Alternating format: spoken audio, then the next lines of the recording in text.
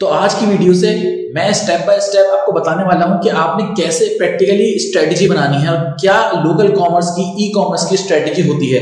आपको मैं strategy practically बताऊँगा स्टेप बाय स्टेप एग्जैक्टली आज की वीडियो में हम लोकल ई कॉमर्स स्ट्रेटजी के बारे में डिस्कस करने वाले हैं.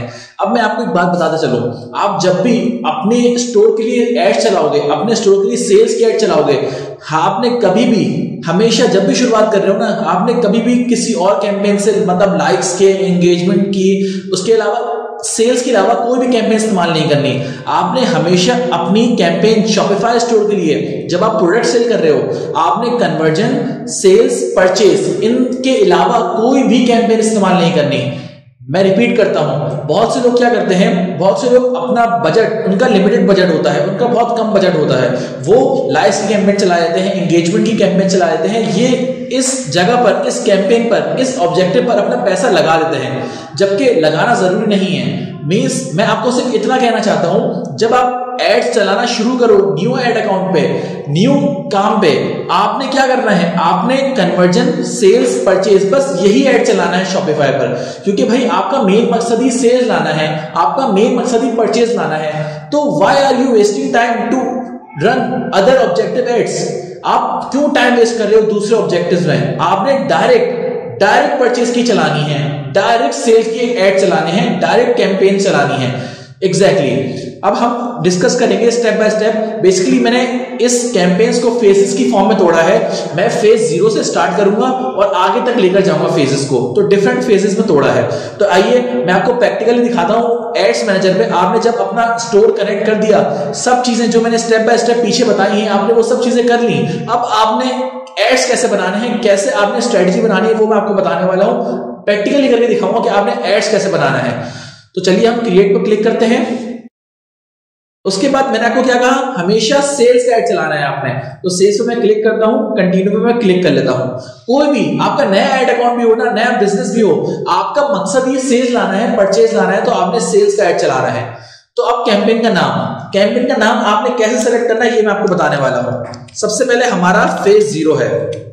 और मैं कौन से कैंपेन चलाऊँगा? एबीओ या सीबीओ स्टार्ट में एबीओ चलाऊँगा। तो मैंने यहाँ लिखना है एबीओ उसके बाद मैंने क्या करना है? मेरा प्रोडक्ट का नाम क्या है? ताकि प्रोडक्ट का नाम आपको याद रखना है प्रोडक्ट का नाम क्या है, वो आपने कैंपेन में रखना है। क्योंकि आगे जाकर क्या होता है? आगे जाकर जो है ना प्रोडक्ट चेंज करते रहते हैं। तो हमें प्रोडक्ट का नाम याद होगा ना? प्रोडक्ट के नाम से हम कैंपेन रखेंगे तो हमें कंफ्यूजन नहीं होगी। जैसे मैं प्रोडक्ट लेता हूँ मून लैम्प फॉर एग्ज़ाम्पल हमारी ये प्रोडक्ट है, हम लोकल ई कॉमर्स में इस प्रोडक्ट को टेस्ट कर रहे हैं। मून लैम्प आ गया। अब आपने क्या करना है? इस फ़ेज़ का मकसद क्या है? वो आपने लिखना है। परचेज लाना है। तो वो आपने लिख लिया। अब ये बेसिकली कैंपेन किसके लिए है? ये इस कैंपेन को हमारा पर्पस क्या है? हमारा पर्पस है पिक्सल वार्म अप करना। इसका मकसद हमारा पिक्सल वार्म अप था तो हमने पिक्सल वार्म अप लिख लिया। बस आपने कैंपेन में यही चीज़ें करनी है स्टेप बाय स्टेप उसके बाद आपने यहाँ पर कुछ भी नहीं करना। नेक्स्ट पर क्लिक करना है। अब आता है एड सेट अब एड सेट में आपने क्या रखना है? जो ऑडियंस आप यहाँ सेलेक्ट करोगे, आपने वो रखना है। अब जैसे पिक्सल वॉर्म पे हम हमेशा ब्रॉड ऑडियंस रखते हैं तो जल्दी से हम पिक्सल वॉर्म पे ब्रॉड ऑडियंस लिख लेते हैं। डिटेल जितना आप डिटेल नाम लिखोगे, उतना ही आपका फ़ायदा है। पिक्सल वॉर्म ब्रॉड ऑडियंस आपने क्या करना है? पिक्सल वॉर्म बना लिया। अब उसके बाद क्या करना है आपने? वेबसाइट पर आना है वेबसाइट पर क्लिक करना है। आपकी कोई भी पिक्सल आपने यहाँ से कनेक्ट किया हुआ, वो आपने पिक्सल यहाँ रख लेना है। जो भी पिक्सल इस एड अकाउंट से कनेक्ट है, वो ऑटोमेटिकली यहाँ आ जाएगा। अगर बहुत सारे पिक्सल कनेक्ट है इस एड अकाउंट से तो आप सेलेक्ट कर सकते हो। उसके बाद आपने क्या करना है? आपने इवेंट करना है सिलेक्ट और हमेशा हमेशा क्या रखना है? परचेज मेरे दोस्त, बहुत से लोगों को मैंने देखा है, यहाँ पर वो परचेज के अलावा शुरू शुरू में view content page view add to cart रखते हैं। याद रखना दोस्त, जिस इवेंट पर आप अपने एड अकाउंट को और अपने पिक्सल को ट्रेन करोगे, वही तरीके से रिज़ल्ट देगा। आपने यहाँ पर परचेज के अलावा कुछ भी नहीं रखना। जब से स्टार्ट करोगे ना स्टार्ट से परचेज के अलावा आपने अपने कुछ भी नहीं रखना। अगर आप परचेज नहीं रखोगे शुरू शुरू में तो आपका पिक्सल किसी और इवेंट में ट्रेन हो जाएगा और आपको उसी तरीके से रिज़ल्ट देगा। और जब आगे जाकर आप परचेज रखोगे ना तो वो बहुत पैसा खर्च करना पड़ेगा उस पिक्सल को परचेज पर आने पर परचेज पर ट्रेन होने में तो आपने स्टार्ट से ही यहाँ पर परचेज का इवेंट रखना है कन्वर्जन रखनी है परचेज इस इस एरर को आप छोड़ दें, क्योंकि जो मैंने आपको बताया ये एरर तब शो होता है जब हम इवेंट प्रायोरिटाइज नहीं करते. ये एरर जब आप इवेंट प्रायोरिटाइज कर लेंगे तो इजिली ये एरर यहाँ से हट जाएगा. इस एरर को आप इग्नोर कर सकते हैं. अब आती है बजट की बात. बजट आपने क्या रखना है? इस कैंपेन पर फ़ेज़ ज़ीरो पर आपने रखना है 500 500 रुपीज़ जो आपकी करेंसी है, आप जिस लोकल पे चलाना चाह रहे हो, पाकिस्तान में हो इंडिया में हो, आपने 500 रखना है। 500 से आप शुरू कर सकते हो डेली बजट याद रखना दोस्त डेली बजट रखना है। स्टार्ट डेट आप देख सकते हो, एक घंटे बाद ही शेड्यूल कर सकते हो, दो घंटे बाद की, लेकिन स्टार्ट डेट और एंड डेट आपने नहीं देनी ठीक है? उसके बाद हमारे पास ऑडियंस आता है। ऑडियंस के सेक्शन पर हमने क्या करना है? हमने अपनी लोकेशन सेलेक्ट करनी है कंट्री सेलेक्ट करनी है। क्या बोला मैंने? अगर आप इंडिया में हो तो आपने इंडिया सेलेक्ट करनी है और पाकिस्तान में पाकिस्तान सेलेक्ट करनी है बांग्लादेश में बांग्लादेश सेलेक्ट करनी है यहाँ पर आपने सिर्फ़ कंट्री सेलेक्ट करनी है। उसके बाद आपने यहाँ पर एज सेलेक्ट करनी है। एज आप अपनी मर्ज़ी से सिलेक्ट कर सकते हो। एग्जैक्टली exactly, अपनी मर्ज़ी से यहाँ पर एज सेलेक्ट कर सकते हो। मैं आपको रिकमेंड करता हूँ आप हमेशा ज़्यादातर जो है ना जो मैंने रिज़ल्ट देखे हैं वो 18 से 54 क्योंकि बहुत ओल्ड एज के जो लोग होते हैं ना वो ऑनलाइन परचेज नहीं करते। तो 18 से 54 बहुत अच्छी एज है लेकिन आप ये देख सकते हो अपने प्रोडक्ट के हिसाब से। ठीक है? आप ये बिल्कुल देख सकते हो। उसके बाद आपने क्या करना है? एक चीज़ आपने करनी है, आपने यहाँ पर जेंडर जेंडर आपने अपने प्रोडक्ट के हिसाब से रखना है। फॉर एग्ज़ाम्पल आपकी कोई प्रोडक्ट है प्रोडक्ट कोई भी हिसाब की है, आपकी कोई फीमेल प्रोडक्ट है, कोई मेल प्रोडक्ट है, उसी हिसाब से आपने यहाँ जेंडर रखना है और यहाँ पर स्पेसिफाई करना है। अगर आपको लगता है कि आपकी प्रोडक्ट दोनों खरीद सकते हैं, तब आपने यहाँ पर ऑल पे क्लिक करना है। क्योंकि मेरी ज़्यादातर ऐसी चीज़ें होती हैं जिसमें मैं प्रोडक्ट ऑल पे क्लिक करता हूँ, क्योंकि ये प्रोडक्ट मेल भी खरीद सकते हैं वुमेन भी खरीद सकती हैं। इसलिए आपने ये स्पेसिफाई करना है, ठीक है? और यहाँ पर आपने डिटेल टारगेटिंग में कोई टारगेटिंग नहीं करनी, कोई भी टारगेटिंग नहीं करनी, क्योंकि हमारी ये ब्रॉड ऑडियंस है, हमने पिक्सल वार्म अप कर रहे हैं तो ये ब्रॉड ऑडियंस पर रखना है। उसके बाद आपने यहाँ चेंजेस नहीं करनी प्लेसमेंट पर आपने फ़ेज़ ज़ीरो पे हमेशा ऑटोमेटिक प्लेसमेंट रखनी है, ठीक है? उसके बाद हमारे पास नेक्स्ट आता है। नेक्स्ट आने के बाद आपने क्या करना है, हमारे एड लेवल शुरू हो जाएगा। एड लेवल पर आने के बाद यहाँ पर आपने जो चला रहे हो, जैसे फॉर एग्ज़ाम्पल कोई पोस्ट चला रहे हो तो पोस्ट रख दो। कोई पोस्ट चला रहे हो, कोई पोस्ट रख दो। कोई वीडियो चला रहे हो, कोई वीडियो का नाम रख दो, ये आपके ऊपर है। ठीक है? उसके बाद आपने अपना यहाँ पर पेज सेलेक्ट करना है। पेज सेलेक्ट करने के बाद आपके पास बहुत सारे पेज होंगे तो आपने वो पेज सेलेक्ट करना है जिस पर आप एड्स चलाना चाहते हो और जो आपके शॉपिफाई स्टोर से भी कनेक्ट है। याद रखना दोस्त, वही पेज कनेक्ट करना, वही पेज लगाना जो आपके स्टोर से भी कनेक्ट है। उसके बाद अगर आपने इंस्टाग्राम बनाया हुआ है तो सही है, वरना आप ये यूज़ सेलेक्ट पेज से भी कर सकते हो। ठीक है? उसके बाद हमारे पास आता है, आपने ये डी सेलेक्ट कर देना है। अब आपने create ad create ad means आपने कोई इमेज या पोस्ट डालनी है। सिंगल इमेज पर मैंने क्लिक किया उसके बाद मेरा क्या होगा? उसके बाद मैंने क्या करना है यहाँ पर? इसको डिलीट करना है। कैटलॉग्स में कोई नहीं चला रहा मैं। मैं सिर्फ़ एक सिंपल पोस्ट पर चला रहा हूँ। सिंपल पोस्ट पर और कोई वीडियो पर मैं चलाना चाह रहा हूँ ऐड तो यहाँ से मैं कोई भी पोस्ट ऐड कर लूँगा। पोस्ट ऐड करने के बाद कोई भी ऐड कर सकता हूँ जो मेरे अच्छे क्रिएटिव बने हुए सिर्फ़ एक पोस्ट ऐड करनी है या कोई एक ऐड क्रिएटिव करना है। मैं फॉर एग्ज़ाम्पल कोई भी ले लेता हूँ जल्दी से। तो यहाँ पर मैंने एक पोस्ट ले ली।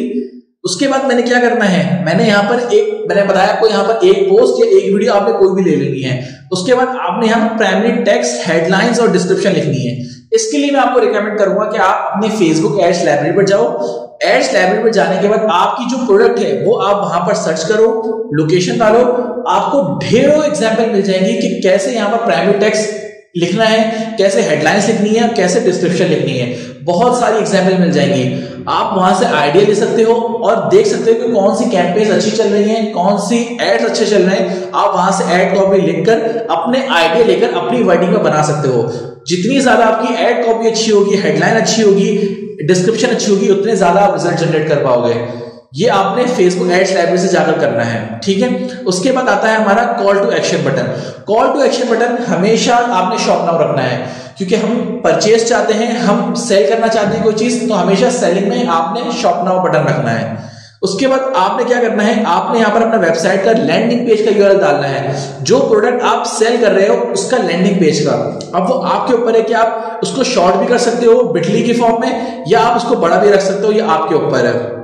फिर आपने क्या करना है? आपने नीचे आना है और यहाँ पर ये पहला फ़ेज़ ज़ीरो एंड हो गया यहाँ पर खत्म हो गया।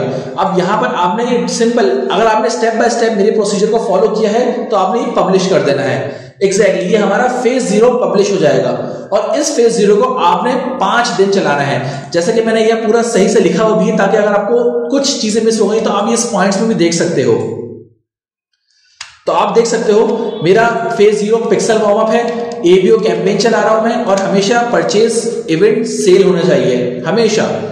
आप स्पेसिफाई एक एडसेट बनाना है सब आपने, एक एडसेट जेंडर भी स्पेसिफाई कर सकते हो एज भी स्पेसिफाई कर सकते हो as per your product broad audience पे हमेशा कोई भी इंटरेस्ट नहीं लगता ब्रॉड ऑडियंस पे, आप ब्रॉड ऑडियंस कर सकते हो। और आपने इस एड को, इस एड सेट को पाँच दिन चलाना है। मींस आप अगर पर डे 500 जा रहा है आपका तो यहाँ पर आपका कितना गया पाँच दिन के हिसाब से? 2500 तो आपने पाँच दिन चलाना है इस एड सेट को। एक ही एड सेट बनाना है। प्लेसमेंट मैंने बताया ऑटोमेटिक क्रिएटिव्स और उसके बाद आपने क्रिएटिव्स जो क्रिएटिव्स है ना आपके, वो वीडियो भी हो सकते हैं पोस्ट भी हो सकते हैं। मैं ज़्यादा प्रेफर करता हूँ शॉपिफाई पे वीडियोस क्योंकि वीडियो से ज़्यादा अच्छी कन्वर्जन आती है। लेकिन मैंने कभी कभी ये भी नोट किया है कि पोस्ट से भी अच्छी कन्वर्जन आ रही होती है। तो आपने आगे दोनों टेस्ट करनी है। लेकिन यहाँ पर आप वीडियो क्रिएटिव भी लगा सकते हो पोस्ट भी लगा सकते हो। क्योंकि इस कैंपेन में हमारा मकसद सेल्स लाना नहीं है। हमारा मकसद पिक्सल वार्म करना है। इस कैंपेन में हो सकता है सेल्स आ जाए, लेकिन ज़्यादा चांसेस नहीं होते सेल्स आने के। तो आपने ना घबराना है, ना डरना है। आपने सिर्फ़ इस कैंपेन को चलाना है। ठीक है? उसके बाद लास्ट पॉइंट क्या था? मैंने बताया कि इस फ़ेज़ ज़ीरो को आपने पाँच दिन चलाना है। पाँच दिन के हिसाब से इस कैंपेन में पच्चीस सौ रुपए खर्च होंगे और आपने पाँच दिन बाद इस कैंपेन को बंद कर देना है। क्योंकि पिक्सल वार्म अप हुआ था और उसके बाद इस कैंपेन में कोई हमारा सेल्स का पर्पज नहीं है। पाँच दिन बाद आपने इस कैंपेन को बंद कर देना है। और उसके बाद एनालाइज करने के बाद आपने फ़ेज़ वन शिफ्ट करना है। एनालाइज कैसे करेंगे वो? मैं आपको नेक्स्ट वीडियो में बताऊँगा फ़ेज़ ज़ीरो को। उसके बाद हम उसको फ़ेज़ वन में कैसे शिफ्ट कर सकते हैं वो मैं आपको बताऊँगा। तो आज की वीडियो में मैंने आपको बताया कि फ़ेज़ ज़ीरो हमें कैसे बनाना है, कैसे हमें पिक्सल वार्म अप करना है, कैसे हमें अपने फेसबुक शॉपिफाई स्टोर के लिए पहला कैंपेन बनाना है। उम्मीद करता हूँ आपको आज की वीडियो पसंद आई होगी। अगर आपको आज की वीडियो पसंद आई तो आप लाइक कर सकते हैं मेरे चैनल को सब्सक्राइब कर सकते हैं मेरे चैनल को और अपने दोस्तों के साथ भी शेयर कर सकते हैं। मैं मिलता हूँ फिर आपको नेक्स्ट वीडियोज़ में। तब तक के लिए खुदा हाफिज।